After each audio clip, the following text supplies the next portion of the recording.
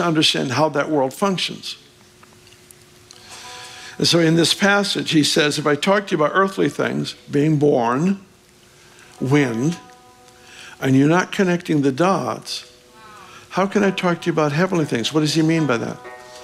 How can I talk to you about the nature of my world that has no earthly parallel?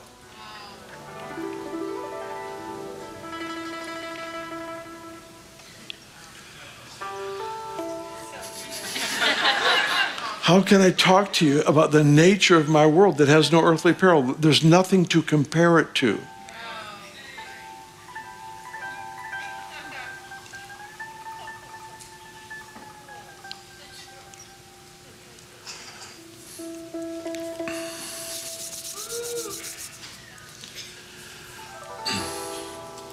If I've told you earthly things and you do not believe, you know, um, these illustrations that Jesus gives all through uh, Scripture, parables, other things that you and I learn just through life, where the Lord will speak to us about something natural. Um, those are all invitations to increase faith.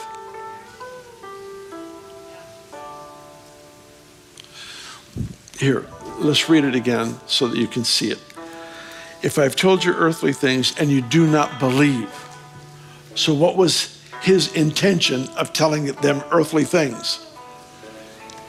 It's that they would believe. His intended outcome, as he invited them into this dialogue, into this experience, into this journey, his intended outcome was come, I want you to step into belief, faith. I want you to come into a greater place of faith. So he invites them, but they miss it. And he says, Man, if you're not getting it, when I'm talking about the simple things, planting corn, harvesting corn, showing mercy, reaping mercy, if you're not making that connection, then I can't talk to you about my world that has no earthly parallel. What's the point? He wants to. He wants to. John 16 is, is, a, is a sobering uh, portion of scripture for me. Jesus actually tells the, the, his disciples and the crowd he's with, I, I forget uh, how many were there, but he tells this group of people, he says, I have so many things to tell you, but you can't bear it now. Whenever Jesus speaks, he creates.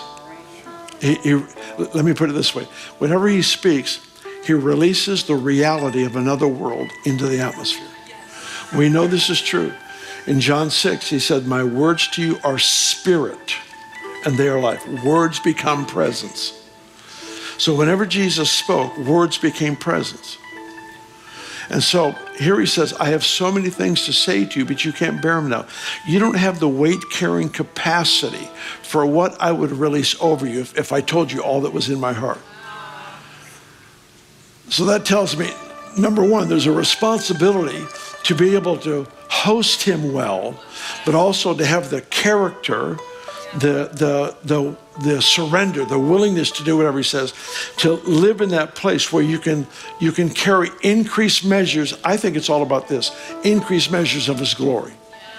You say, well, he won't share his glory with another. It's true, but you're not another. We are members of his body.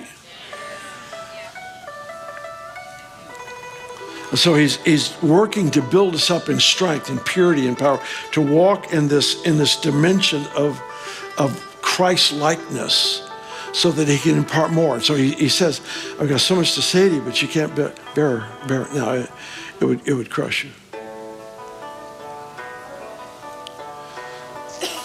So here he says, if I told you earthly things, you don't get it.